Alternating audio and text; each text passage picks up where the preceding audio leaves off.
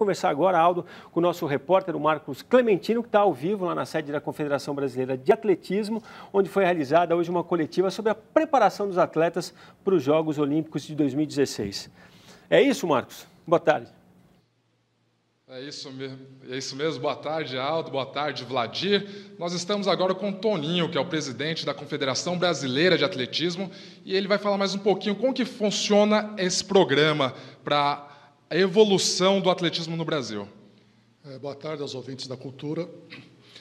É, nós estamos trabalhando em conjunto com o Comitê Olímpico Brasileiro, o Ministério dos Esportes, é, atendendo a ansiedade dos atletas, isolando eles com projetos é, para cada um, para cada uma das provas.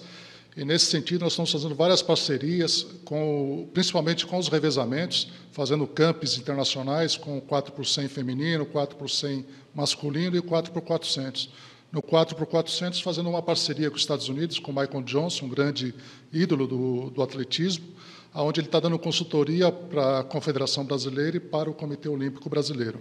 Quais são aí, então, os benefícios para o atleta brasileiro? Bom, nós estamos trabalhando também com a equipe multidisciplinar, que era pelo Plano Brasil Medalhas. Então, cada atleta tem um médico, um fisioterapeuta, massagista, é, fisiologista, é, fisioterapeuta, então, nutricionista, psicólogo. E a gente está isolando cada um desses grupos de atletas para poder fazer um trabalho individual de competições internacionais, campos internacionais. Queria deixar o microfone aberto. Vladir, Aldo, vocês têm pergunta? Não, acho que é Nenhuma, acho que está tudo esclarecido mais ou menos o que vai ser feito. Obrigado, Marcos.